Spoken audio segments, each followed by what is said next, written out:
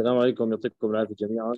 محمد جمال إسماعيل مقيم جراحة عامة آه، اليوم راح نكمل بحث الردود اللي أعطته آه، زميلتنا الدكتورة أنا ريمان بالمحاضرة السابقة بإشراف الأخصائي الدكتور يحيى مطير جزاه الله خير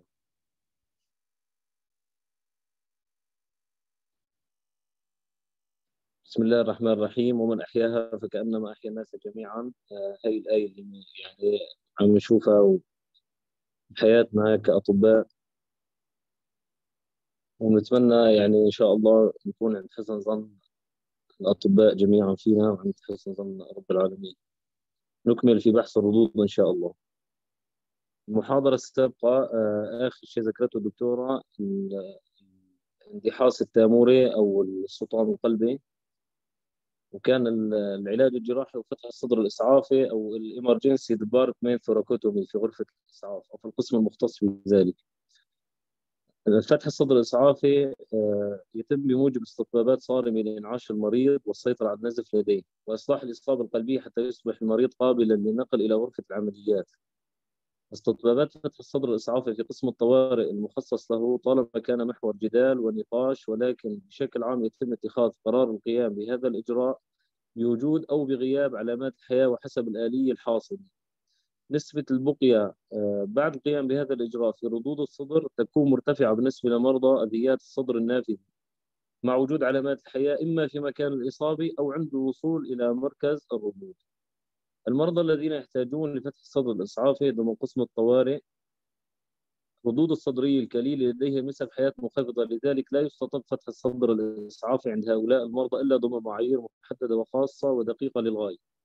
الأهداف الأولية لفتح الصدر الإسعافي هي ضبط الضرر والسيطرة عليه عن طريق تحرير الانتحاس التاموري الحاصل. السيطرة على النزف داخل الصدر مع الانعاش القلب الرئوي المفتوح هون نحن هون فتحنا الصدر. وأغلاق الأبهر النازل بملقط وعائي بشكل متقطع حتى لا نقطع التروي بشكل كامل هاي المناورة اللي عملناها بتساهم في إعادة توزيع الدم المتبقي وإيصال التروي إلى الشرايين التاجية والسباتية. إجراء فتح الصدر الإسعافي يبدأ آه، كناحية تشريحية يبدأ من الناحية الوحشية الأمامية اليسرى حيث يتم إجراء الشق بالصدر تحت حلمة الثدي في المسافة الوربية الخامسة ويبدأ الشق من الوسط الضلع الغضروفي الخامس الأيسر مع انحناء خفيف ويمتد حتى الحافة الأمامية للعضلة العريضة الظهرية يمكن قطع عظم القص واستخدام مبعدات الأضلاع عند الحاجة. عند الدخول إلى التجويف الصدري يجب أن يلاحظ جراح الردود فيما إذا كان الدم النازف هل هو دم شرياني أم دم وريدي؟ وإزالة الخثرات المتشكلة بسرعة وتقييم التامور في حال وجود اندحاس وتفريغه. ففي حال آه، وجوده يتم تحرير وتفريغ السلطان التاموري عن طريق شق وفتح التامور أمام العصب الحجابي آه، بداية بواسطة المشرط ثم نكمله إلى شق طولي ويمتد الشق الجراحي الذي نحدثه من جذر الأبهر وحتى قمة القلب كي يسمح بارتياح وتخليص القلب من الدم المتخثر المحيط به بشكل كامل.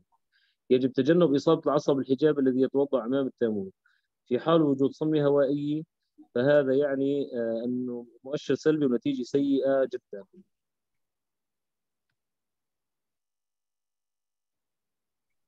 الخطأ التقليدي هو ترك التامور مغلقا لأنه يبدو سليما من الخارج. عندما يتعلق الأمر بالتامور قد تكون المظاهر خداعة وكيس تامور سليم قد يخفي سطاما وراءه. أثناء إجراء فتح الصدر أمامي جانب أيسر قم بتبعيد الرئة اليسرى إلى الخلف لتكشف الجانب الوحشي من التامور إن نجا المريض افعل كل شيء آخر في غرفة العمليات إذا لم تعد فعالية الكهربائية المنتظمة خلال فترة معقولة توقف في غض النظر عن مدى خبرتك وموهبتك الجراحية. بالنسبة لفتح الصدر الناصف الشيء الذي تبحث عنه هو الوريد العضلي الرأسي وهو البوابة المنصف علوي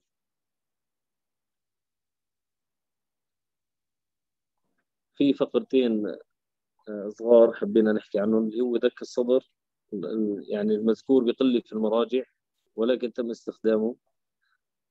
تم وصف دك الصدر كوسيلة للسيطرة على النزف بعد الإجراءات الجراحية على القلب والرئتين ومع ذلك دك الصدر أصبح استخدامه قليلا بسبب آه، المخاوف اللي, أساسا أنه بيرفع الضغط داخل الصدر والمساحة اللي بتشغل المواد المستخدمه في الدك.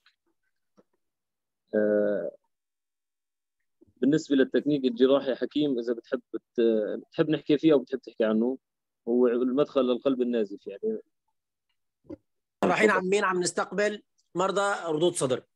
تفضل. سواء رضوض مغلقة أو رضوض كليلة آه، رضوض نافذة طعن سكين آه، طلق ناري أذية انفجارية ايا كانت. أنا كجراح عام بيهمني انتبه على شغلتين مهددات للحياة. اللي هم بشكل أساسي الريح الصدرية الضاغطة أو الموترة والاندحاس التاموري أو الصطام التاموري.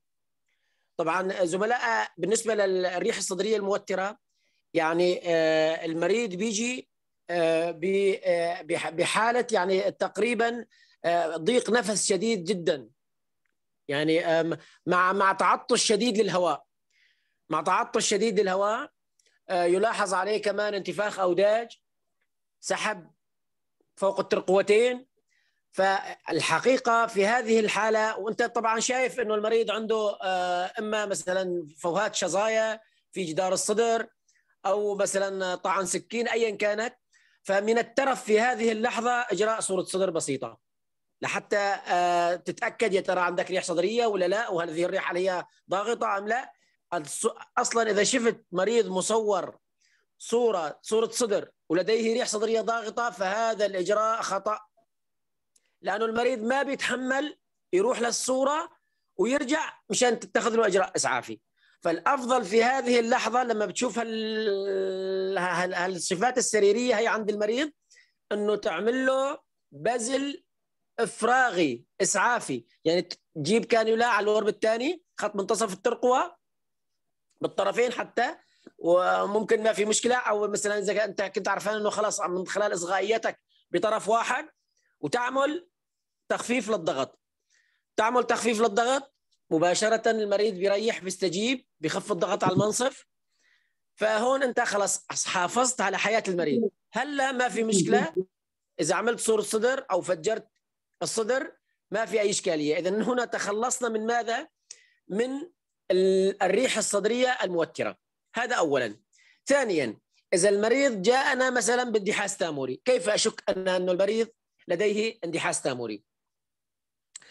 مجرد ما يصير عند المريض انصباب تامور فالسائل أو الدم يتجمع بين القلب والتامور الليفي ضمن جوف التامور طبعا اللي هو الجوف بين الورقتين المصلية والحشوية الوريقة المصلية بتغطي التامور الليفي من الداخل الوريقة الحشوية بتغطي سطح القلب. ففي هالجوف هذا آه، بيتجمع الدم. فأول ما بيضغط بيضغط على الاذينات لأنه جدار الاذينات هو مثل جدار الأوردة رقيق يعتبر بالمقارنة مع جدار البطينات. فأول ما يظهر لدى المريض نقص الامتلاء الوريدي يعني نقص امتلاء الاذينات في الدم. فلما بينقص امتلاء الاذينات الدم لأنه مضغوطات هذا يعطي مباشرة إيش؟ بيعطي مباشرة انتفاخ أوداج. فمريض أوداجه منتفخة أصوات القلب غير مسموعة بشكل جيد اذا هذا المريض يشك أن لديه آه، صطام تاموري أو اندحاس تاموري. المفروض هلا حاليا في كل مشفى في عندك في سكان. نظرة بسيطة بتشوف في عندك سائل ضمن جوف التامور. أيضا هنا عليك قبل إجراء فتح الصدر الإسعافي. لنفترض أنت مثلا في مكان ما خرجت تجري فيه مباشرة فتح الصدر الإسعافي. أنت في سيارة الإسعاف على خط مثلا القتال جابوا لك المريض ضمن المشفى. مباشرة ابزل تامور ابزل تامور ريح القلب ثم إلى فتح الصدر الإسعافي. طبعا فتح الصدر الإسعافي دائما نحن كجراحين عاملين إنه إذا بدك تجي تفتح القص وبدك منشار عظم والى آخره فهذا صراحة يأخذ زمن طويل. أصلا بيقول لك حتى تعقيم الأيدي في هذه الحالة ترف أيضا. تعقيم الأيدي مع هيك حالة ترف. ف بتشق الصدر بشق اسمه كلامشل معترض ورب على الورب الخامس بالطرفين تقطع عظم القص ما في مشكلة. فبينفتح عندك الصدر على مصراعيه. تلاحظ التامور أمامك. طبعا أنا في عندي على سطح التامور هذول لازم ننتبه عليها بشكل جيد لأنه أنا بالداخل لا أنقذ مريض ملائزي. بمر العصب الحجابي الأيمن والأيسر. بمروا على الوجه الأمامي للتامور من أمام سره الرئة. فأنت تفتح بيكونوا ظاهرات ومرئيات وكمان في لهم أوعية دموية مرافقة. للاعصاب هي. فأنت بتشق التامور بشكل طولي بين هذين العصبين عشان تتجنب إصابته. لأنه إذا أنت فتحت التامور بشكل عرضي أنت هون عملت مشكلة للمريض اللي هي شليت العصب الحجابي سواء سواء الأيمن أو آه الأيسر أو بجوز شله العصبين. لذلك تفتح التامور بشكل طولي. فتحت الشكل التامور بشكل طولي فرغت الخسارات الموجودة. هلأ هنا مباشرة قد تجد مثلا آه، إصابات حسب نوعها بتدبرها. القلب هو عبارة عن وعاء دموي كبير. يعامل معاملة الأوعية الدموية. شلون بتخيط الأوعية الدموية؟ بتخيط القلب. مع الانتباه إلى أمر أن في القلب هناك شرايين إكليلية. أنا ما بدي قولات وجهي كحلها وأعميها. يعني أنا ما بجي بخيط القلب وبسكر معي الشريان الاكليلي مثلا خصوصا مثلا الشريان الاكليلي الأمامي. إذا عندي البطين مصاب مثلا الشريان بين البطينين الأمامي. إذا جيت آخذ قريبه الإصابة على مثلا الشريان إجي آخذ قطبة هيك عادية. تسكر معي الشريان بين البطينين الأمامي. إذا أنا أذيت القلب أكثر ما هو مازي لذلك القطب في منطقة الشرايين الإكليلية تؤخذ بشكل حرف يو. الزملاء مثل ما بنسكر نحن بجرح الزايدة مثلا شو بتسكروا العضلات؟ وبتسكروها مثلا بحرف يو روح رجع من تحت الشريان. منين؟ من تحت الشريان إذا أنا سكرت الجرح دون أن أغلق آه، فوهة الشريان. هذا بالنسبة لفتح الصدر الإسعافي. طبعا يستطب فتح الصدر الإسعافي لعدة أمور. منها أمور إجرائية إسعافية لإنقاذ حياة المريض مثل الحالة هي السلطان التاموري مثلا. منها إجراء إسعافي لإنقاذ حياة المريض في حال وجود نزف صاعق في البطن وليس في الصدر. هلا شلون يعني نزف صاعق في البطن؟ وأنا بدي أفتح صدر؟ نعم أنا بفتح صدر لأنه الوصول إلى الأبهر الصدري أمر سهل. إذا أنت عندك إصابات كثيرة ومتعددة في البطن ونازفة بشكل شديد وصعب عليك مثلا إنه تفتح البطن مباشر وتحدد مكان هالإصابات هي أو تدكها وتسيطر على النزف بيكون مات المريض. فتح الصدر ما بيأكل دقيقتين. تفتح الصدر تلقط الصدر الأيسر طبعا. تلقط الأبهر الصدري النازل بكلم. أنت هون أمنت تروية للقلب والدماغ للأعضاء الحيوية الرئيسية. وقطعت الدم عن وين؟ عن البطن. في هذه الحالة هلأ بدخل على البطن. و... و... وسيطر على أماكن النزف. ثم أعود وأفتح الكلمب الموجود على الابهر الصدري هلأ قد يتبادر لذهن أحدكم. إنه ليش ما بنفتح بطن وبنلقط الأبهر البطني؟ ليش عم نفتح صدر؟ فبصراحة الوصول إلى الأبهر البطني يعني صعب. أو إذا ما هو صعب يعني يحتاج إلى وقت ويحتاج إلى خبرة. لأنه الأبهر البطني لما بيدخل خلف الحجاب الحاجز مباشرة بيعطي الجذع الزلاقي. وهالمنطقة هي صايرة كلها خوين خلف المعدة. هذه المنطقة خلف المعدة. فالوصول إليها مو أمر سهل. الوصول إلى الأبهر الصدري أسهل بكثير. فأنا اذا صار عندي مثلا استطباب فتح صدر مشان الاندحاس التاموري استطباب فتح صدر مشان السيطرة على الأحمر الصدري للسيطرة على النصف البطني الكارثي. أيضا بالنسبة ل فتح الصدر أيضا إذا أنا عندي مريض مثلا طعن سكين طلق ناري إصابة شظايا حربية إذا حدث وخرج إلى لدي فعملت تفجير صدر دفق الدم 1500 ميلي فما فوق في المرة الأولى فهذا يحتاج إلى فتح صدر إسعافي. طبعا فتح صدر إسعافي مشان أنا لأنه أكيد عندي نزف خطير ومهدد للحياة مشان أسيطر عليه.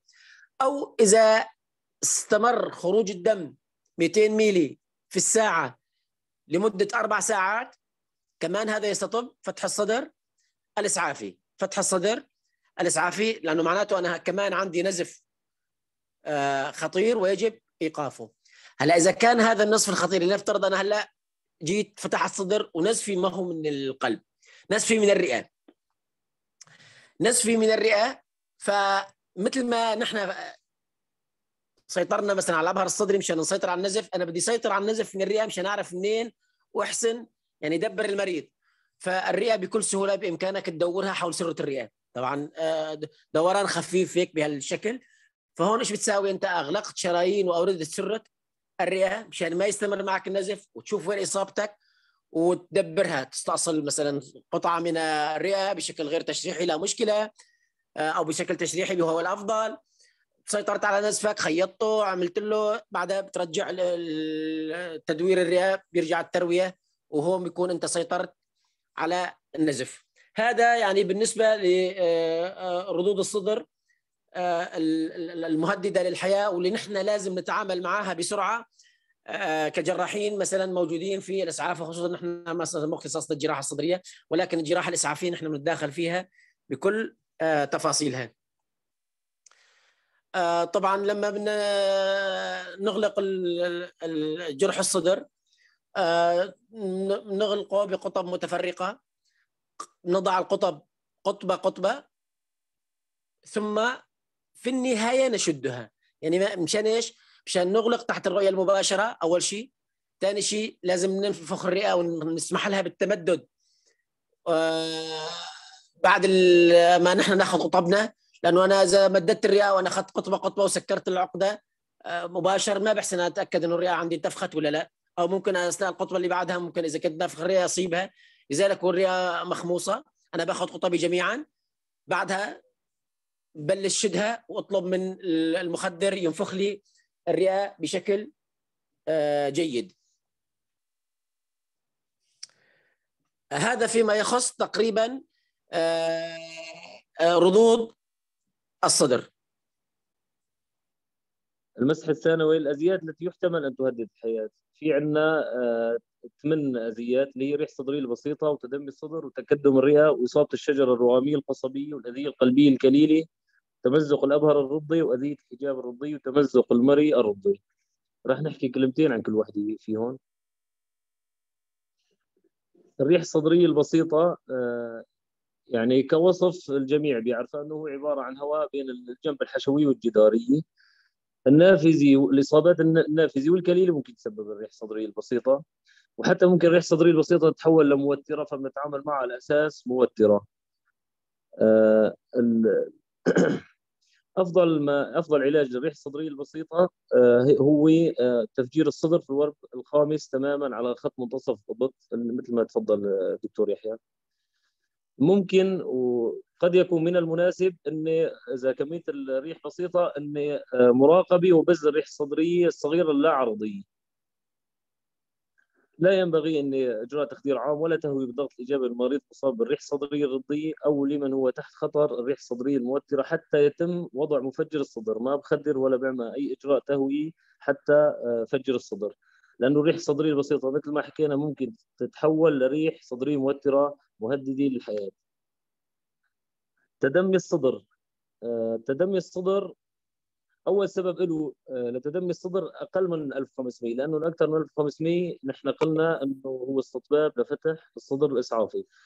اول سبب له لتدمي الصدر أقل من 1500 ملي من الدم هو جرح الرئة بالدرجة الأولى ازيات الرئويه اللي حكى عنها الحكيم أو أذية وعاء وربه أو شريان الثدي الباطن بسبب سواء كان السبب رد نافذ أو كليل حتى كسور العمود الفقري الصدري طبعا ممكن تترافق بتدمي الصدر بكمية أقل من 1500 ملي ممكن يكون النزف محدد بذاته وما يتطلب مداخلة جراحية ولكن أفضل ما يعالج به تدمي الصدر الحاد الكبير كفاية. ليظهر على صوره صورة الصدر الشعاعي هو مفجر صدر كبير القطر 36 ل 40 فرنش بيفرغ المفجر الدم بيفرغ الصدر من الدم وبيقلل خطر تدمي تدمي الصدر المتخثر إنه يتخثر الدم بفترة عدم وضع المفجر. بالإضافة لأنه وسيلة لأني راقب الصدر هو عيني جوا الصدر. التوصيات تشير إلى أنه تفريغ 1500 ملي من الدم فورا عبر مفجر أو إفراغ أكثر من 200 ملي بالساعة لمدة 2 ل 4 ساعات أو إذا الحالة تطلبت نقل دم فلازم حط ببال الاستقصاء الجراحي مباشرة.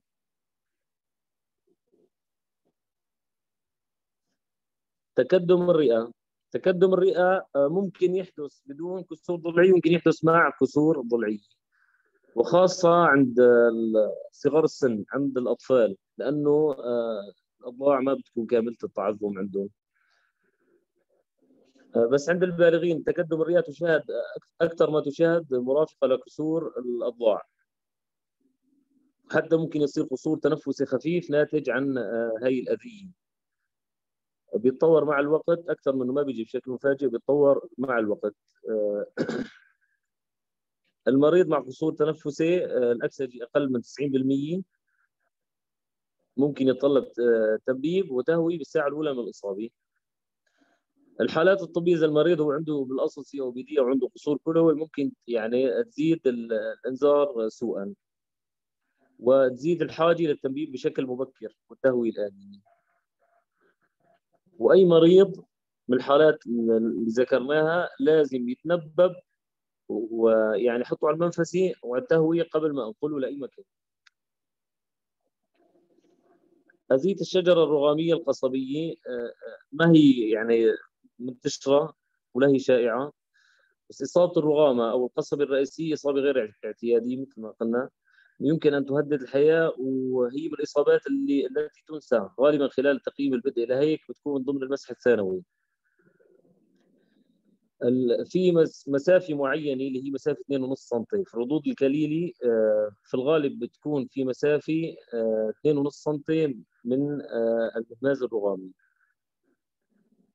ويموت معظم مرضى هذه الإصابات في موقع الحادث اللي عنده نزيه رغاميه واللي بيوصلوا على المشفى آه، يعني على قيد الحياة عنده معدل الوفيات عالي إما بسبب إصابات مرافقة أو لأنه تأخرنا في تشخيص اذيه الطريق التنفسي اللي عنده.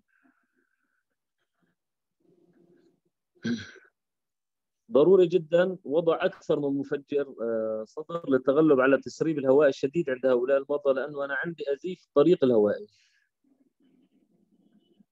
تنظير القصبات بيأكد لي التشخيص. ممكن يتطلب الأمر كمان تنبيب مثل ما حكينا. بكل هي الإصابات التنبيب أنا لازم دائما أحطه في بالي.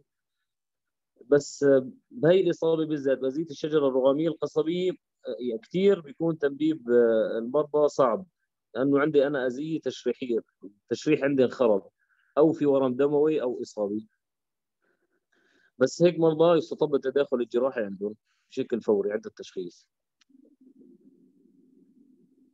الأذيات القلبية الكليلي آه، بينتج عنها تكدم آه، في عضله القلبية أو تمزق أحد فجرات القلب أو في تسلخ أحد شرايين الإكليلية أو تخثرة أو تمزق صمامي اللي هي كل أقسام القلب ذكرناها. أذيات ممكن يتعرض القلب بكل اقسامه المريض الأذية القلبية الكليلي ممكن يجي فقط بانزعاج صدري مثل مريض الاحتشاء. وحتى باعراض أخف يعني. والعرض هذا ممكن يعزى أنه أنا عندي تكتم جدار صدر أو كسور قص وهذا ممكن حتى يسبب يعني اختلاط في التشخيص. الأزية العضلة القلبية تشخيصها الحقيقي فقط يوضع عن طريق المعاينة المباشرة آه، للعضلة القلبية المتضررة ويشمل العقابيل الإلهام سريريا هبوط الضغط وعند اضطراب النظم بيكون وشذوذ حركية الجدار على الإيكو إذا في إيكو قلب أو في يعني متخصص طبيب متخصص يعمل لنا إيكو قلب. الموجودات الاكثر شيوعا على التخطيط القلبي الكهربائي لهيك مرضى هي تقلصات بطينيه مبكرة ومتعددة وتسرع قلب جيبي غير مفسر أو رجفان أذيني ممكن يصير في حصارات. وعادة بهيك مرضى الحصار غصن أيمن. المرضى الأذيات القلبية الكليلة معرضين جدا لشذوذات آه، قلبية على ال ECG وهنه تحت خطر إنه يصير معهم لا نظميات مفاجئة فلازم يراقبهم خلال 24 ساعة الأولى. وبعد هاي المده خطر اللانظميات بتناقص المرضى اللي بينما المرضى اللي ما عندهم اضطرابات على ال ECG ما بيحتاجوا لمراقبه إضافية يعني بعاملهم كمريض رضوض وبراقبهم من الناحيه الهيموديناميكيه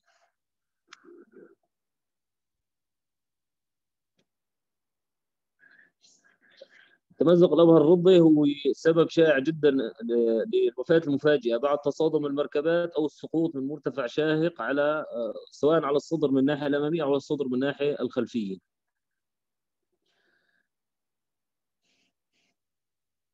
في علامات آه، شعاعية كثيرة لتمزق الابهر الرضي آه، سواء توسع المنصف. طبعا بهيك مرضى دائما إذا المريض غير مستقر طبعا يعني الاستقصاءات الشعاعية بنشيلها من بالنا بنحطها درجة ثانية الفحص السريري بالدرجة الأولى بيكون. ولكن العلامات الشعاعية بهذا الأمر بهذه الإصابات تمزق الأبهر الرضي توسع المنصف انمحاء قوس الأبهر انزياح الرغامه إلى اليمين وانخفاض القصبة الرئيسية اليسرى وارتفاع القصبة اليمنى وانحراف المري وتدمي الصدر الأيسر وكسور ضلعين أول وثاني. والتشخيص وسيله المسح الدقيقة لمرضى الأذيات الوعائيه الكليله مشتبه بها بشكل دائم هو ال helical contrast enhanced CT. وحتى يمكن تصوير أكثر من مرة لحتى تشخص وبعدين بعمل ال aortography. وهذا يعني هي الأمور معنا هي بدها يعني مراكز بتخدمي فنحن بنكتفي بتحويله إنه بعد ما يشخص إنه في أنا عندي ازيه بالأبهر لتحويله لجراح الوعائيه لنا بصدد التعامل معه كازيه أبهر نحن التقييم المتأخر أو الزائد للمنصف المتوسع بدون قدرات جراحية قلبية صدرية يمكن تؤدي إلى تمزق مبكر للورم الدموي المحتجز وموت سريع بسبب الاستنزاف.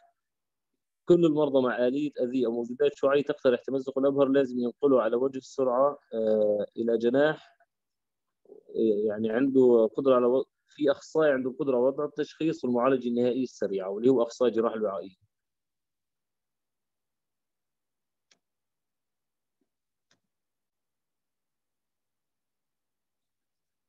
أذيات الحجاب الرضيه آه، أكثر ما تشخص أذيات الحجاب الرضيه عند مرضى الردود في الجهة اليسرى ربما لأن الكبد يسد آه، الاذيه أو يمنعه في الجهة اليمنى من الحجاب الردود النافذة تنتج ثقوبا صغيرة يمكن أن تحتاج إلى وقت. قد يمتد لسنوات وأحيانا تتطور ردود هي الثقوب الصغيرة يمكن تتطور لفتوق حجابية. لأعرف أنا أنه عندي كان أذية رضية طبعا هي بكون أخذتها في القصة السريرية للمريض بغض النظر عن سبب الرد. ممكن يكون أنا ارتفاع قبة الحجاب اليمنى على صورة الصدر هو الموجود الوحيد لأذية الجهة اليمنى. وإذا كان عندي جرح الحجاب الأيسر مشكوك به يجب إدخال أنبوب أنبوب أنف معدي. وعندما يظهر الأنبوب المعدي في جوف الصدر على الصورة الشعاعية لا تعود هناك حاجة لدراسات ظليلة أخرى ولا لاستقصاءات أخرى وينبغي القيام بدراسة ظليلة للسبيل الهضم العلوي إذا لم يكن التشخيص واضحا. الإجراءات التنظيرية الأقل غزوان مثل تنظير الصدر وتنظير البطن ممكن تكون مفيدة ولكن في المريض المستقر هيموديناميكيا. تمزق المري الكليل تنتج ردود المرء آه، أكثر من الأذيات النافذة. ردود المرء الكليلي نادرة آه، لازم نحط بعين الاعتبار إنه أذية المرء عند أي مريض آه، عنده ريح صدرية يسرى أو تدمي صدر دون كسر أضلاع. إذا ما في عنده كسر أضلاع ما في عنده مسبب ثاني فلازم نحط أذية المرء في باله. أكيد تشخيص إما دراسة ظليلي أو تنظير مري المعالجة تفجير المنصف نزح واسع للمنصف وجوف الجنب مع إصلاح مباشر للأذية من خلال فتح الصدر إذا كان مناسبا. طبعا في الساعات الأولى إذا تصلحت أذية المري فهذا يعني زار أفضل عند المريض. ردود البطن والحوض تقييم الدوران أثناء المسح الاولي يتضمن البحث والاستقصاء الباكر بحثا عن وجود نزف خفي في البطن أو الحوض عند أي مريض ردود كليلي واضحة. وتعتبر الجروح النافذة بين الحلم حلمتين والعجان سبب آه، كامل الأذيات داخل البطن. تحدد آلية حدوث الأذية وشدة الإصابة ومكان الإصابة والحالة الهيموديناميكية للمريض طريقة الأفضل لاستقصاء وتقييم البطن. ازيات البطن والحوض آه، إلى الآن هي آه، تعتبر لا زالت تعتبر سبب الوفيات يمكن تجنبه وذلك بعد ردود الجزع تمزق أي عضو حشوي أو نزف عضو صلب لا ي... لا ي... ما بقدر أنا اميزه بهي السهولة. تقييم المريض غالبا ما يختلط إذا كان المريض يعني مدمن أو عنده ازيه دماغيه أو عنده ازيه النخاع الشوكي فبيختلط تقييمه عن المريض الردود اللي ما في ازيات مرافقة. كمية هام هامة من الدم يمكن أن تفقد في جوف البطن بدون علامات واضحة على تخريش البريتوان أي مريض عنده أذية رضية كليلة على الجذع أو البطن ناتجة عن رد مباشر أو توقف تسارع أو أذيات رضية نافذة يجب اعتبار أنه عنده أذية بطنية حشوية أو وعائية حتى يثبت العكس. التشريح الناحية للبطن يعني أغلبنا على دراي فيه فحكيم آه، ما بعرف تحب أحكي فيه؟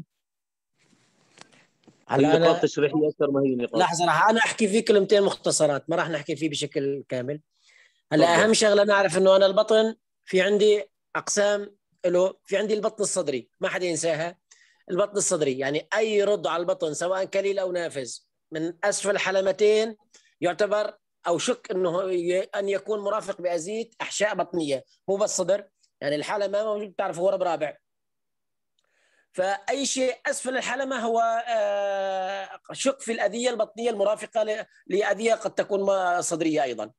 تمام؟ لأنه في عندي أنا بعض الأحشاء وخصوصا الكبد آه، والطحال وجزء من المعدة. متوضع وين؟ في البطن الصدري هذا اولا. وفي عندي البطن أو جوف البطن بالخاص هذا اللي بنعرفه كنا اللي هو من أسفل الحافتين الضلعيتين إلى منطقة آه، العانة. هذا الجزء البطني المتعارف عليه. وفي عندي الحوض أيضا. الحوض أو الحوض العظمي.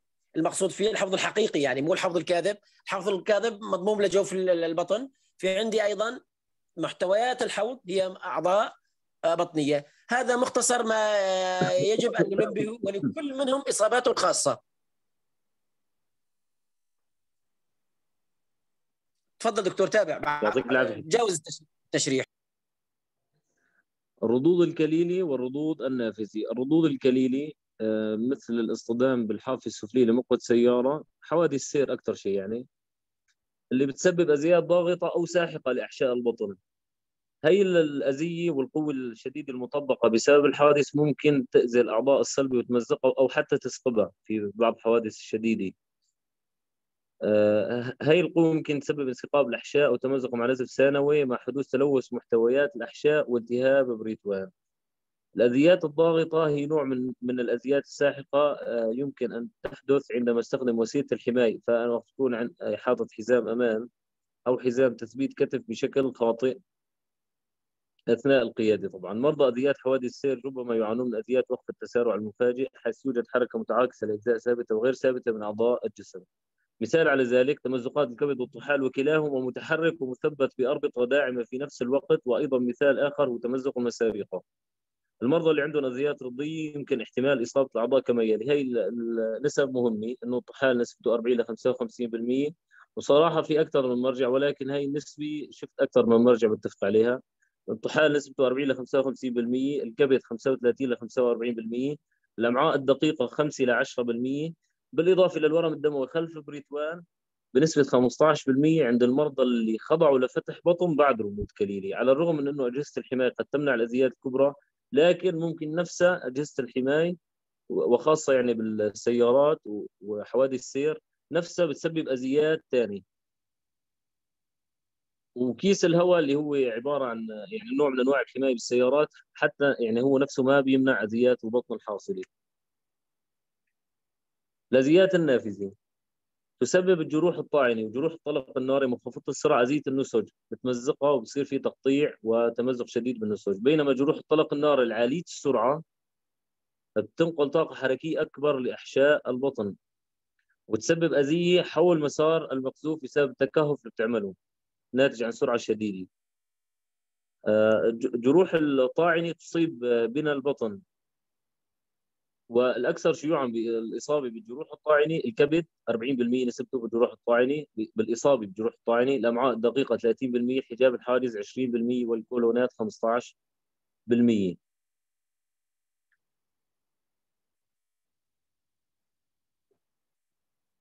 أذيات الطلق الناري نسبة الأذيات وخاصة الأمعاء الدقيقة 50% لأنه أغلب إصابات الطلق الناري بتكون في البطن. 50% الكولونات 40% والكبد 30% واوعيه البطن 25% طبعا تختلف ازياء الطلق الناري بنوع السلاح وسرعة المقذوف.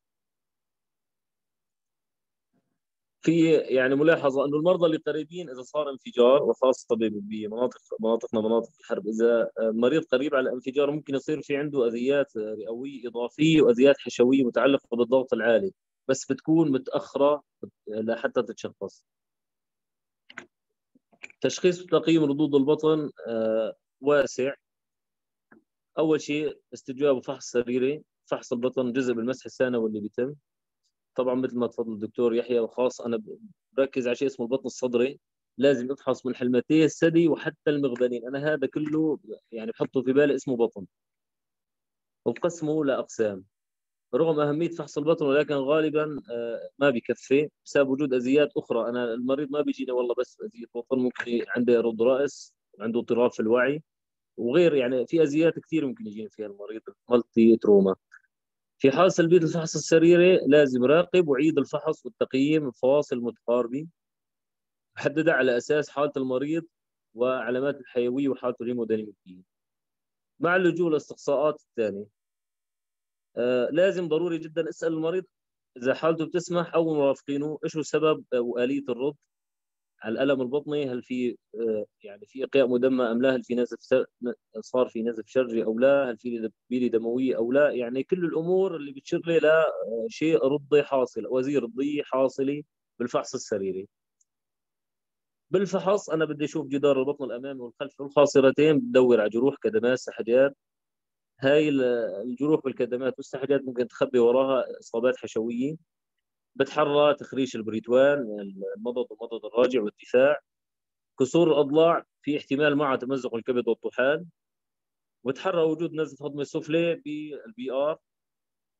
والنزف الهضمي العلوي عن طريق وضع أنبوب أنفي معدي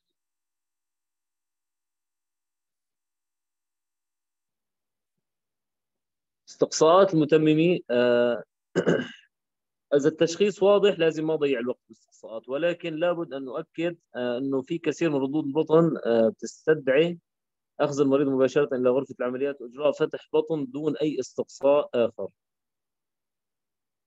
هلا في عندنا بالمريض اللي بتسمح حالته إنه يستقصي صورة الصدر مع إظهار الحجابين ممكن تظهر يعني مع إظهار الحجابين الهلال الغازي ممكن تمزق حشا اجوف حتى كسور اضلاع صورة حوض مهمة جدا في مريض الرضوض الإيكو FAST واللي هو يعني عين الجراح بإصابة trauma. في أربع مقاطع الإيكو FAST المقطع التاموري والمقطع المراق الأيمن موريسون والمقطع المراق الأيسر اللي اللي فيه الطحال والحجاب والكلي والحجاب الحاجز أيضا ومقطع فوق العاني رتج دوغلاس. ال CT إذا المريض مستقر من الناحيه الهيموديناميكيه حصرا ما في شيء اسمه تصوير CT والله لمريض غير مستقر. مريض مستقر ممكن أنا يعني أصوره طبقي. وطبعا بيكشف كثير أذيات الطبقي حتى السائل الحر وتمزقات الحجاب. وخاصة إنه أدق من الإيكو في كشف الإصابات خلف البريتوان وتمزقات الأحشاء بشكل عام. طبعا الطبقي بيفيدنا باتخاذ القرار الجراحي أو المحافز. أيضا من الاستقصاءات عن التصوير المساني الظليل عبر القسطره البوليه لانفي أو اكد إذا فيها تمزق، تصوير الاوعيه الظليل لتشخيص النزف الحوضي وخاصة في المريض اللي عنده أذية في الحوض كسور في الحوض. هل العلاج بصم الوعاء النازف هاي لا الوعائيه. في عندنا ما شفناها كثير بالمشافي صراحة بس الرحض البريتوان التشخيصي ال DPL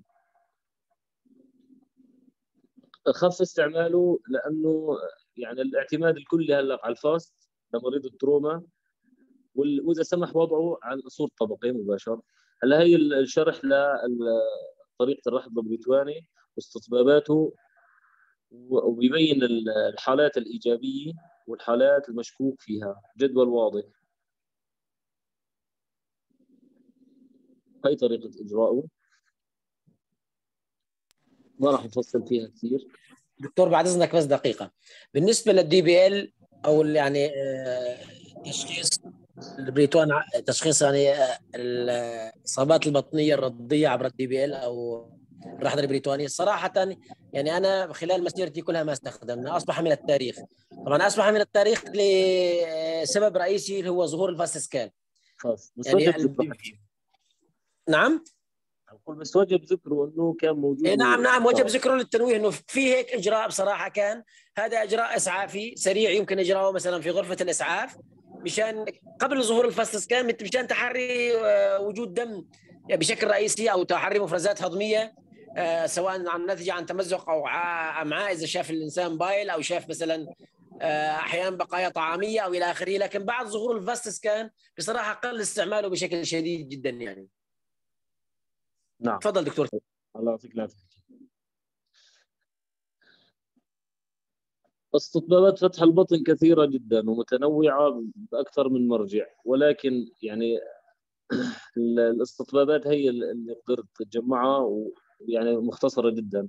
خروج أمعاء من جدار البطن صدمة نقص حجم مع وجود سائل حر في البطن صدمة نقص حجم غير مفسرة ما تحسنت أو تحسنت وبعدين اشتدت رغم الإنعاش في السوائل ونقل الدم للمريض علامات تخريش بريتوان دفاع وتقفع عضلة واضحة ومستمرة. نزف هضمي علوي أو سفلي صريح ومستمر. هواء حر تحت الحجاب ودلائل شعاعية على تمزق الحجاب وبقاء الأداء الطاعني في الجروح الطاعني مغروزي في جدار البطن.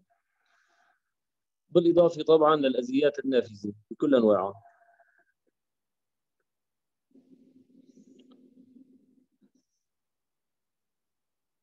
مبادئ التدبير الجراحي لردود البطن. هلأ في آه، يعني هون آه، آه، تقييم لرد البطن المغلق ولرد البطن النافذ.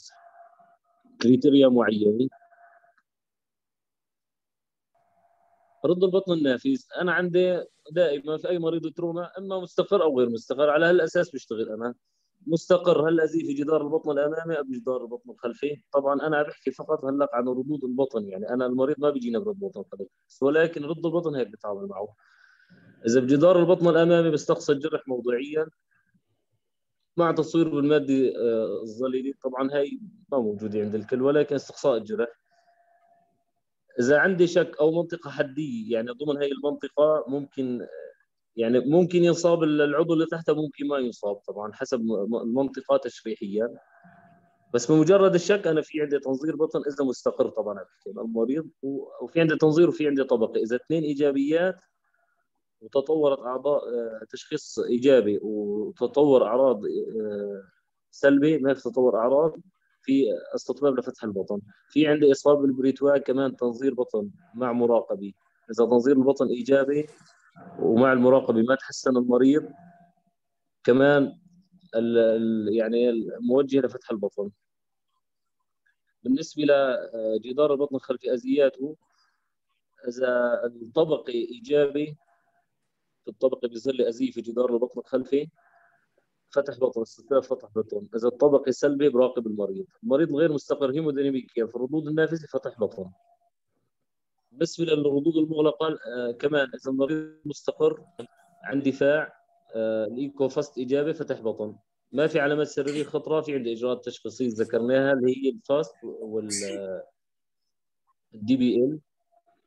وطبعا آه، العلامات الهيموديناميكية أو البريتوانية الدفاع وغيره إذا إيجابية فتح بطن إذا سلبية براقب المريض. المريض الغير مستقر عنده ال FAST إيجابي آه، نزف غزير داخل البريتوان استطباب لفتح البطن إذا في عنده أسباب أخرى للصدمه النزفيه مثل ما قلنا المريض ما بيجينا مريض نموذجي بيجينا عنده أذيه صدرية أذيه آه، يعني رض رأس كسور حوض وغيره. تصوير شرايين وتصميم للوعائيه وبراقب المريض.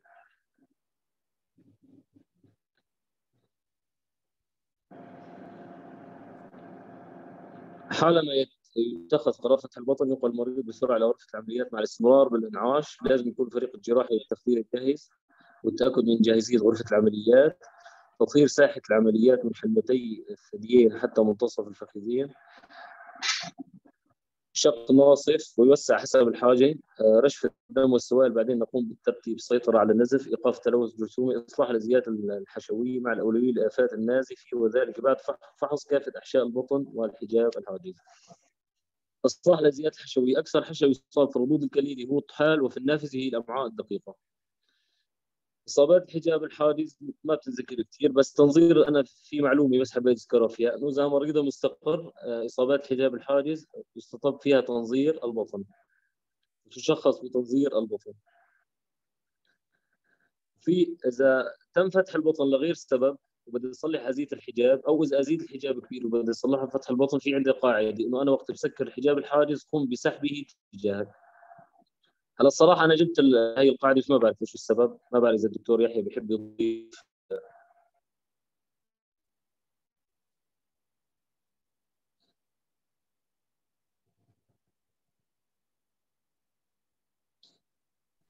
تفضل تابع دكتور تابع. إصاب إصابات معدي أكثر ما تصاب بردود النافذ يندر إصابة المعدي بردود الكليل بسبب حماية قسم كبير منها بالقفص الصدري. طبعا أيمت بيشتبه إنه أنا عندي ازيه بالمعده عند مريض رطوب إذا عندي أقياء مدمه أو بإنبوب المعده تمزقات جروح المعده الخياطة ويجب دوما فحص الجدار خلف المعدة حتى لا نهمل آه، جرح فيه.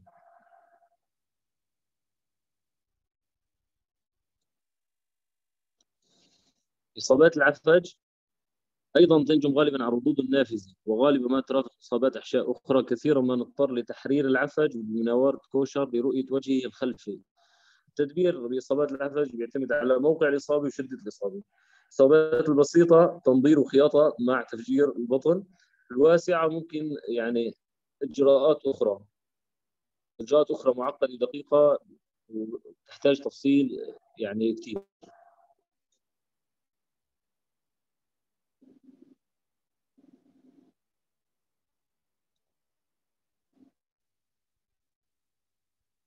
إصابات البنكرياس يتم تشخيصها أثناء فتح البطن ويمكن تشخيصها قبل العمل الجراحي بالطبقي ومخبريا بارتفاع الأميلاز غالبا ما يتوافق مع إصابات العفج أو الأوعية الرئيسية. الأذيات البسيطة بتم تدبيرها بالتفجير تفجير البطن. أما الواسعة ومترافقة من قطاع القناة البنكرياسية أيضا يعني في إجراءات معقدة وعمليات تحتاج تفصيل آه، أكثر.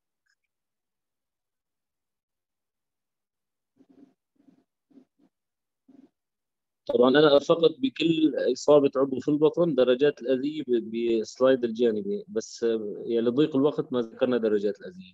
إصابات الكبد ترافق إصابات الكبد بنزف غزير الاصابات الغير مترافقة بحالة صدمة أو علامات صريحة لالتهاب تعالج علاج محافظ غير جراحي ما لم يكن في عند استطباب آخر لفتح البطن مع المراقبة سريريا ومخبريا وبالطبق والتداخل إذا تطورت الأعراض.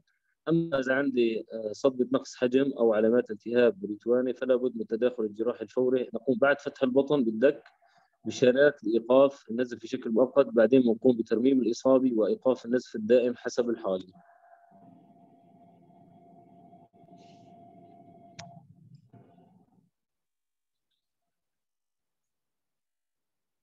هي طرق إيقاف النزف سواء تخثير سواء تطبيق مواد مرقئة جلفومات أو غيره تنظير وخياطه لاستئصال فص كبدي آه، في حال إنه صار في إصابات عديدة وما قدرنا نحن نرقي أو نرمم ونقوم نقوم بإعادة الدك بشانات ونتركها في البطن لتحافظ على الإرقاء بآلية الضغط ونقوم بنزعها بعد فترة ب 8 72 ساعة. فقرة الدك هي يعني فقرة مهمة جدا حبيت أذكرها لحالها إنه هو التقنية التي ستكون أكثر الأدوات استعمالا في أزياد الكبد عالية الدرجة، وإذا قمت بدك الكبد كإجراء مؤقت وتوقف النزف عندها تكون قد حققت الإرقاء ورفع الدك عند هذه النقطة يعتبر خطأ. إذا لم تكن متأكد تماما من حدوث الإرقاء بالدك خصوصا عندما يكون قد توجب عليك إزالة الدك لاستقصاء النزف نزف ولكنك لم تجد أي أوعية شريانية نازف عندها فكر بإجراء وهو التصوير الوعاء الظليل الفوري بعد الجراحة مع إجراء تصميم انتقائي وقلنا هي للجراحة الوعائية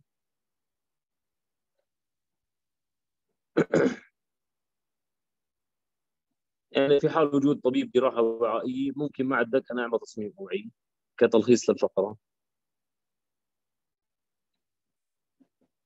القطب العميقة الكبدية آه، بتسبب تنخر النسيج المحاط بالقطبي ولكن ممكن اجراءها عند الاضطرار إذا ما تمكنت من الارخاء فالقطب العميقه الكبديه آه، ممكن اجراءها حتى يعني مذكور ملاحظة انه القطب الكبديه العميقة ليست جريمة. واحد الأفخاخ في القطب العميقة هو نزف الباكر بعد الجراحة. الكبد المردود سيتورم بعد الجراحة. وهذا قد يؤدي إلى تقطيع الخيط لنسيج الكبد المتوازن مع فقدان التأثير الإرقائي وعودة النزف فهي من الخيارات الأخيرة يعني. إصابات الطحال كما في إصابات الكبد تسبب إصابات الطحال نزفا قد يكون غزيرا أو خفيفا فإذا كان المريض مستقر نلجأ العلاج غير الجراحي مع المراقبة السريري والمخبري والطبقي. التداخل الجراحي إذا اقتضى الأمر. أما إذا المريض مصدوم العلاج الجراحي فتح البطن واتباع الإجراءات التالية حسب شدة الإصابة وحالة المريض الفيزيولوجية. الخياطة للأذيات وتخسير وتطبيق مواد مرقئة كما ذكرنا يعني نفس التعامل مع ردود الكبد. آه، ممكن إذا يعني أنا إذا إذا ما في أذية شديدة للطحال أو درجات خفيفة تغليف الطحال بشبكة قابلة للامتصاص. ابزوربال ميش والخيار المستخدم بكثرة ويعني من أهم الخيارات هو استصال الطحال الازيات الشديده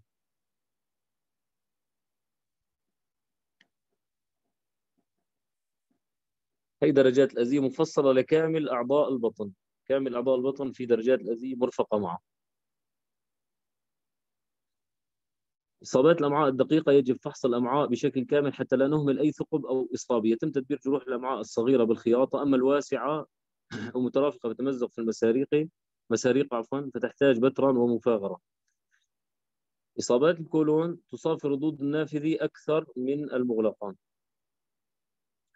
هناك سبب نادر لتمزق السين بالذات في بلدنا ينجم عن الرحضات الشرجية ذات الضغط العالي بخراطيم صنبور المياه قديما كان يتم هذا الإجراء الترميم آه، إما ترميم مباشر دون فغر كولون عن طريق خياطة الجروح الصغيرة آه، بتر ومفاغرة للجروح الكبيرة في شروط للترميم لازم يكون إذا التمزق حديث أقل من 12 ساعة، إذا في تلوث برازي محدود وليس شديد شامل للبطن، وإذا ما في صدمه نقص حجم.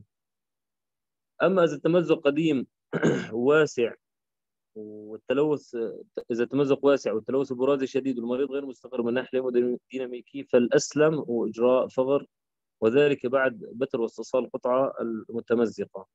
في عندك كثير خيارات فغر لفائف لتمزقات لتمزقات الكولون الأيمن فغر الكولون الداني وعملية هارتمان وبتر البطن العجاني استئصال الشرج وفغر الكولون الدائم. هي العملية.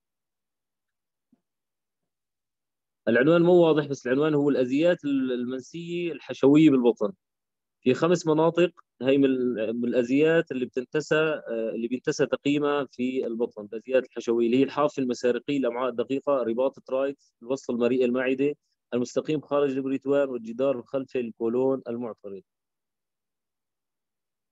حبيت نوع عليها.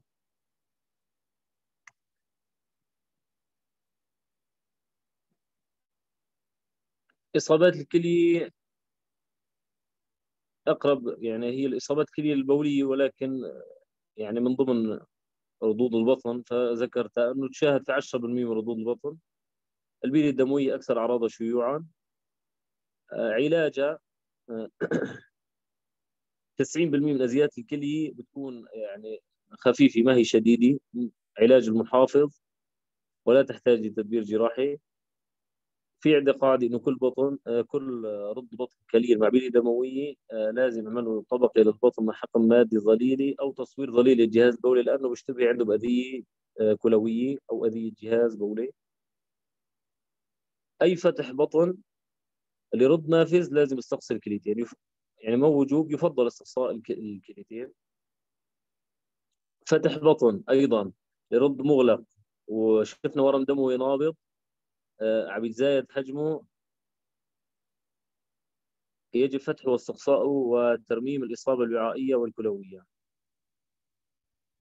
متى يستطب التدبير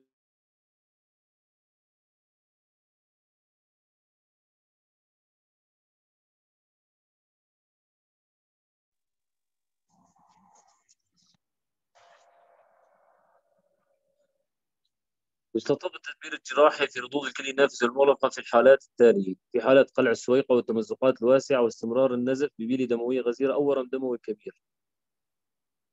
طرق التدبير طبعا آه، يعني هي تفصيلة عند البولية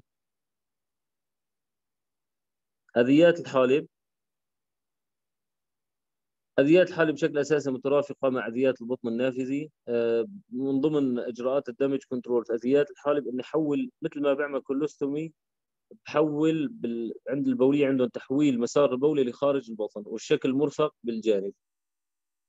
هاي بشكل مختصر عن أذيات الحالب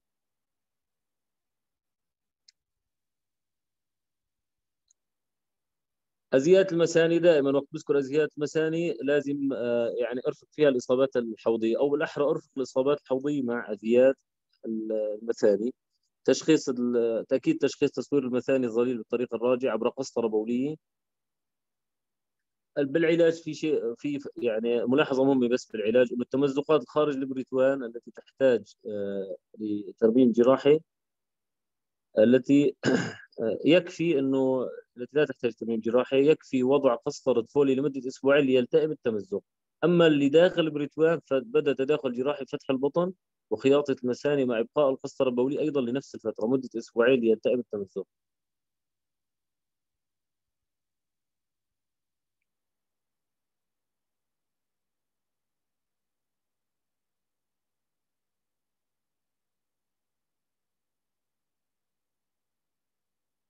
دكتور يحيى أنت معنا دكتور يحيى؟ إيه معك معك. تفضل دكتور. هلأ هي الازيات آه، الخلف بريتوان. إذا بتحب بس يعني تحكي لنا ملخص. إيه تكرم دكتور. هلأ بالنسبة للأزيات خلف البريتوان نحن آه، بيهمني أنا أعرف أنا زمان كان ممكن أفتح بطن أشوف عندي ورم دموي خلف البريتوان. فلازم أحدد أنا يا ترى هل الورم الدموي هذا مركزي إلا محيطي؟ هلا مركزي شيء ومحيطي شيء في تدبيره يعني. وهل هو أيضا آه، حوضي؟ يعني في منطقة الحوض. طبعا الأورام الدموية المركزية هون عندي الأوعية الكبيرة خصوصا الأجوف السفلي والأبهر البطني. الأورام الدموية المركزية استطباب للفتح آه، الورم. واستقصاء هل هناك إصابة وعائية أم لا؟ أما الأورام الدموية المحيطية اللي بتكون على جانبي بال right gutter أو ال left gutter فهون بهال هي الأورام. إذا كانت نابضة وحجمها يزداد أو يكبر بسرعة فهي استطباب لفتح خلف البريتوان واستقصاء ما هي سبب هذا الورم. أما إذا كانت غير نابضة آه، ولا يزداد حجمها بسرعة فيفضل فيها المراقبة لأنها بتكون عادة محده لذاتها وهون بالأساس ما في عندي أوعية كبيرة آه، يخشى منها يعني. تابع دكتور. يعطيك العافية حكيم شرح مختصر ووافي. هلا حكيم بقي عندنا فقرة جراحه ضبط الضرر. هلا في صراحة يعني طويل شوي والمحاضرة أخذت وقت. فراح أحكي أنا من من يعني الشيء اللي بيهمنا بجراحه ضبط الضرر في الجراحه العامه يعني هي ركيزة أساسية باصابات الحربية بس راح أحكي عن اختلاط أهم اختلاط اللي هو متلازمه الحجره البطنية بعد إصلاح الأزيات بطريقة جراحه ضبط الضرر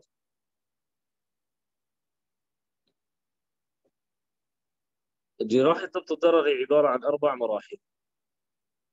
المرحلة الأولى هي اتخاذ القرار إنه هذا المريض هو آه، مريض آه، يعني أو هو من استطابات تطبيق جراحه ضبط الضرر المرحلة الثانية فتح البطن للتحكم السريع في النزف والتلوث والدق داخل البطن.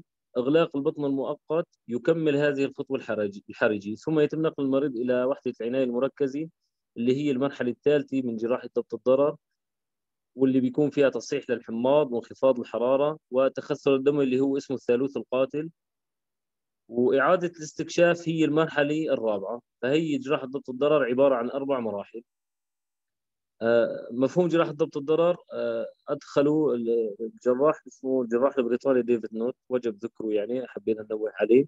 قبل جراحة ضبط الضرر كان المريض من غرفة الإسعاف على غرفة العمليات أغلب الأحيان يموت لأنه مريض رطوب متعددة بينما بعد اكتشاف جراحة ضبط الضرر أو بعد العمل بها من غرفة الإسعاف لغرفة العمليات بعدين للعناية بعد بعدين لإعادة لغرفة العمليات سكند لوك بعدين إلى العناية مرة ثانية.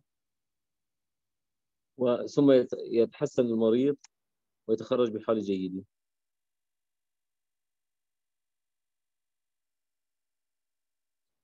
استطبابات جراحة ضبط الضرر آه، عبارة عن ثلاث استطبابات تشريحية وفيزيولوجية واستطبابات متعلقة بالبيئة الجراحية. الاستطبابات آه، يعني مشروحة بجدول مفصل. هذا هو الجدول. للي بيحب يطلع على السبابات بشكل كامل. حكيم المراحل المفصلة أنا هي يعني لمحة كافي تحب تزيد شيء؟ أنه المراحل فيها شرح. بالنسبة لجراحة ضبط الضرر أو الفتح البطن المختزل أو المختصر. يمكن تسميتها أيضا بهذه التسمية. نحن ما ضروري نترجم الترجمة الحرفية. فف يعني فتح البطن المختصر المقصود فيه السيطرة على الحنفيات الموجودة عندك في البطن. شو هي آه، الحنفيات الموجودة عندك في البطن؟ لازم تسيطر السريعة طبعا. على النزف تضبط النزف بسرعة تضبط التلوث. إذا كان عندك مفتوح الأمعاء أو مفتوح الكولون عب ربطه. بدون إجراء بتر أو إصلاح وفقرات آه، بدئية ما بدها.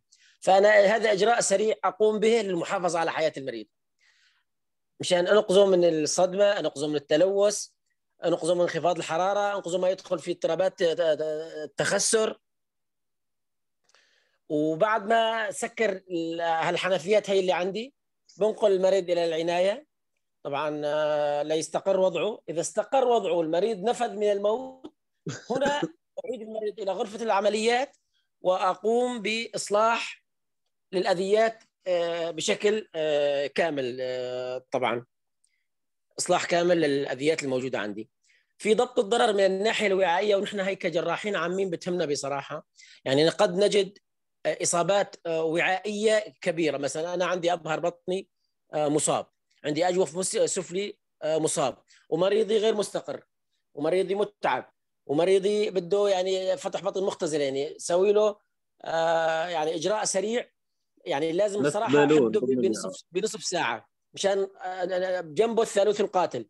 فأنا ممكن هنا بهذه الحالات أن أضع صندا ضمن الوعاء المقطوع ضمن الأبهر البطني ضمن الشريان مثلا الحرقفي مشان حافظ على استمرارية التروية الدموية للطرف أو للأطراف أو للأعضاء الحيوية ريثما يتم إصلاحها لأنه إذا أنا باشرت بإصلاحها إصلاح نهائي في آه، لحظتها ممكن المريض يموت بين ايدي بعد ما خلص الإصلاح وأنا شو كان استفدت هيك؟ ما استفدت أي شيء آخر. فأنا عندي ضبط الضرر من ناحية الجراحة العامة هي السيطرة على التلوث والنزف آه، بشكل آه، رئيسي. ضبط الضرر من الناحية الوعائية ممكن يكون أنا عندي إصابة أوعية آه، مرافقة وأوعية هامة جدا إنه ممكن ان أضع صند داخلها أربط الوعاء على الصند بحيث إنه يتأمل لي استمرارية وأنقل المريض إلى العناية المشددة. لتستقر حالته ثم أعود وأكمل الإصلاح. تفضل دكتور تابع. يعطيك العافية حكيم. أهم اختلاط بالنسبة الفترة ما بعد إجراء جراحه الضرر واللي بخاف منه أغلب الجراحين لأنه اختلاط شديد اللي هو متلازمة الحجرة البطنية. والمضاعفات القاتلة لردود البطن الشديدة. وتنتج من تنتج عن تطور ضغط الحالة المستقرة داخل تجويف البطن إلى ارتفاع مرضي متكرر للضغط فوق ال 20 ملم زئبقي. مع العلم إنه ارتفاع الضغط داخل البطن يعرف إنه الضغط المستمر داخل البطن اللي بيزيد عن 12 ملم زئبقي يمكن أن يؤدي الفشل في التعرف على آه، متلازمة الحجرة البطنية وتدبيرها على الفور إلى سوء الإنذار عند المريض. حيث يتم التعرف على متلازمة الحجرة البطنية كمش كمؤشر مستقل للوفيات يجب أن يؤخذ هذا التشخيص السريري بعين الاعتبار عند المرضى اللي بيعانوا من توتر أو انتفاخ في البطن مع عدم استقرار في حالة المريض. ومع ذلك حتى ممكن رؤية هذا الاختلاط بدون انتفاخ أو توتر في البطن تترافق متلازمة الحجرة البطنية مع مشاكل بالجهاز التنفسي مثل ارتفاع ضغط المجرى الهوائي وعدم كفاية التهوية والأكسجة وانخفاض نتاج البول الناجم عن انخفاض التروية الكلوية بسبب ارتفاع الضغط داخل البطن. يمنع البطن المتوتر العودة الوريدة مما يؤدي لارتفاع الضغط داخل الجمجمة وانخفاض ضغط الترويه الدماغيه وقد سجلت آه، متلازمه الحجره البطنيه نسبة حدوث 6% في المرضى الذين يعانون من صدمة وردود شديدة في البطن أو الحوض وكليهما يخضعان لفتح بطن الاسعافي بضبط الضرر الحاصل. وتطبيق جراحة ضبط الضرر بالسرعة الممكنة. طبعا البطن المفتوح وإغلاقه بشكل مؤقت بالوسيلة المناسبة آه، بخفف وحتى ممكن يمنع متلازمة الحجرة البطنية لأنه التدبير الأمثل لهذا لهذا الاختلاط يعني لحتى ما يحصل مع هذا الاختلاط هو الوقاية بالإغلاق الصحيح للبطن وحتى بأغلب الأحيان ما مسكر البطن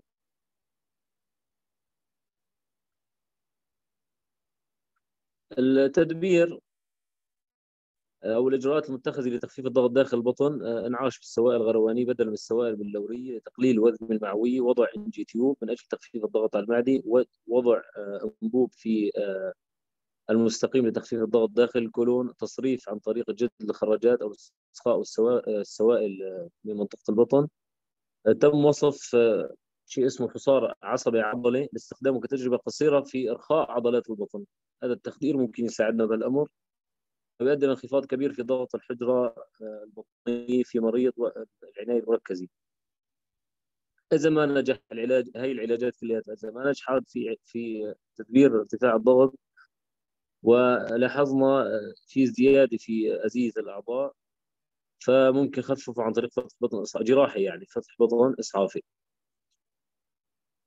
أهم نتيجة له هي فشل الأعضاء متعدد سواء اضطراب جهاز تنفسي أو انخفاض نتاج نتاج القلب أو قصور كلوي أو قصور كبدي آه، أو غيره. أول تظاهر هو القصور الكلوي بيتظاهر بشح بول.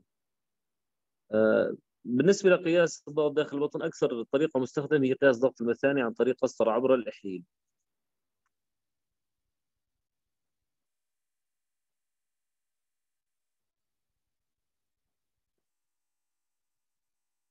مثل ما قلنا علاج جراحي ممكن يستخدم عند فشل العلاج المحافظ لمتلازمة الحجرة البطنية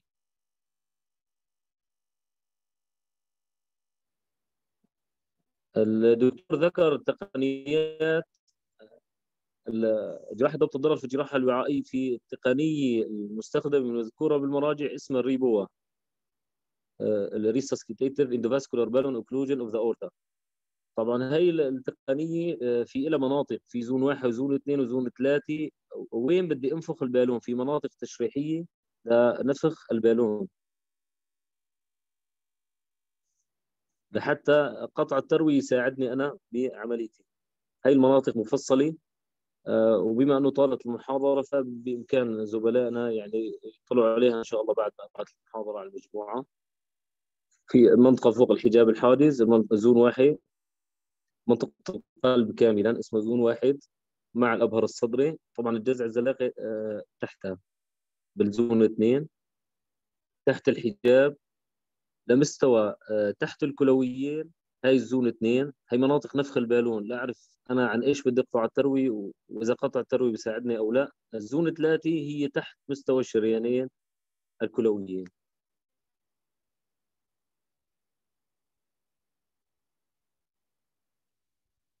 هون انهينا محاضرتنا. آه، هي عبارة عن ملاحظات. قيمه آه، ما هي من مراجع آه، ورقيه إنما هي من مراجع يعني أشخاص وأخصائيين بارك الله فيهم. إنه بالنسبة للوعائيه كل شيء باطن سواء حرقه في باطن أو سبات باطن له علاقة بالحياة.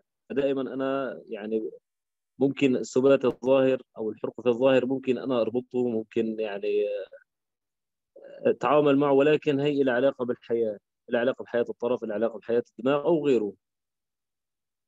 دائما بصلاح آه، الشريان والوريد لازم افصلهم بنسيج حي. آه، مفاغرة الوريد إذا في عنده هزي مريض رضوض وعنده هزية شريانية وريدية آه، فاغر طبعا إذا الهزية الشريانية غير مهمة وغير مهددة الحياة فاغر الشريان قبل الوريد لضمان أنا ما يصير عندي مقاومة بعد ما أعمل وصل شرياني بالفترة القادمة. إصلاح الأعصاب بالاصابات دائما مضاد استطباب إصلاح الأعصاب مضاد استطباب آه، دائما بالنسبة لخزع الحجرات بمجرد الشك اخزع. بمجرد الشك آه، يجب خزع الحجرات عند أدنى شك.